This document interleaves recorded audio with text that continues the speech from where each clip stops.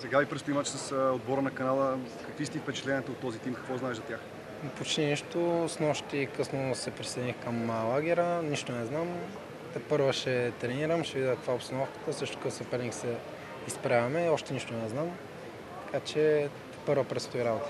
Успя ли за няколкото часа, в които си в България, да се пренастроиш от силните емоции от Португалия към националния отбор? Еми, колкото по-бързо го направя, толкова по-добре. Знаеме Любослав Пенев какъв е, така че и той малко ще ми помогне да се оттърса. така че по- колкото по-бързо, толкова по-добре. Аз имах един свободник в ПСВ, който играе в Канада. Даже мисля, че го избираха последните 3-4 години за най-добър футболист на канадците. Доста добър футболист, така че са, мисля, че са добър отбор. Какво така да се изразя от нашите червели са? Ми, аз ще чакам. М, Не знам, не съм ги гледал на живо. Само гледах на видео така няколко мача, но не мога да ги преценя. Чий стил на игра така най-се доближават, а, сравнявайки ги с противниците в а, евроквалификациите?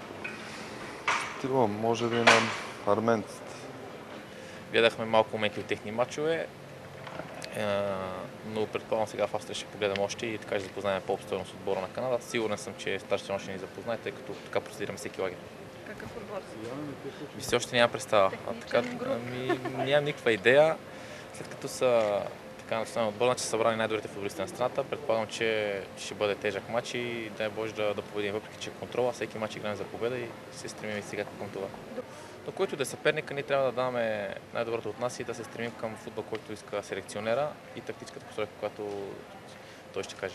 По-различна е мотивацията за тази контрола след края на сезона или всички така да имате сериозно отношение към матча? Особено вие предвид броя мачове, които изиграва. Ами те- националният отбор не може да не е сериозно. Просто на, наистина няма как да не е сериозно отношението, с който дори с някой клубен отбор да приятелските мачове са важни. За националния отбор просто не говорим. Това е национален отбор, чест е за всичките така да сме в този отбор и всеки един мач, всяка една минута така е голям престиж.